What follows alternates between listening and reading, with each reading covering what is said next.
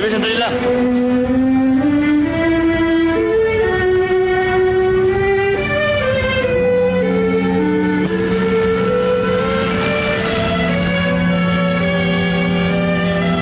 Baby, maaari bang pakinggan mo ako?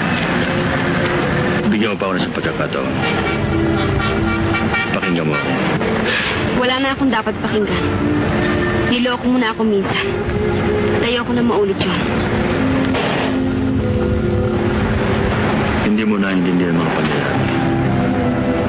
Ang dapat ko intindihin? Hindi ikaw si Teddy Burgos, kundi si Bobby Soriente. May asawa at masalapi. Oo. Nagtago ako sa ibang pangalan. Hindi ko pa magkunwari o manloko. Naligayahan ako bilang mahirap. Hindi ko lang mataro kung may asawa. Sa kabila ng katibayang nakita ko, Ang papeles na nakita mo, ng isang babae. Naibigwa sa akin ng magandang hangarin ko sa'yo. Ang marriage contract na yan, ay pagspikado. At yan ay maaaring mapatunayan sa kata ng oras.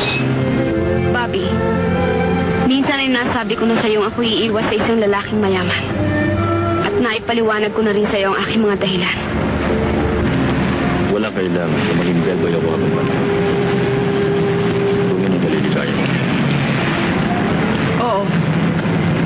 Sapagkat ang inibig ko ay si Teddy Burgos na isang bellboy. At hindi si Bobby Soriente na isang milyonaryo.